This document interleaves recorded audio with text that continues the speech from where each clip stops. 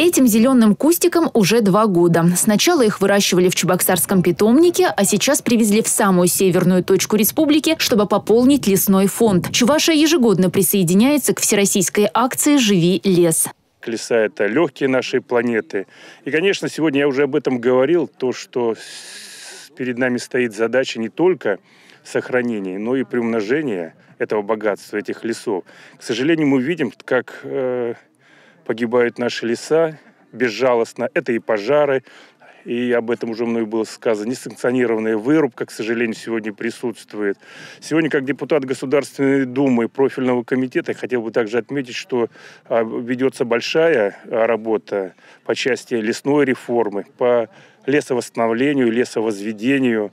Пожары 2010-го памятны до сих пор. Они уничтожили в регионе тысячи гектаров леса. Все эти годы продолжается расчистка горельников и восстановление территорий.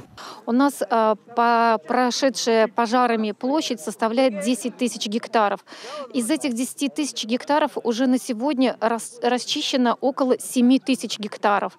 Восстановлено на этой расчищенной площади около 4 тысяч гектаров. Удалось это сделать благодаря волонтерам и просто неравнодушным людям, которые приходят сажать деревья и осенью, и весной. Многие целыми семьями. Специалисты рассказывают, как это правильно сделать. После горельников в почве недостаточно микроэлементов, приходится ее обогащать. Мы готовим торфяную жижу для того, чтобы э, микроэлементы, э, нужная органика попала э, вместе э, с, э, с корневой системой э, в почву. Мы взбалтываем э, торф в воде, подготавливаем вот смесь э, и э, смачиваем э, корневую систему наших сеянцев вот в этой жиже.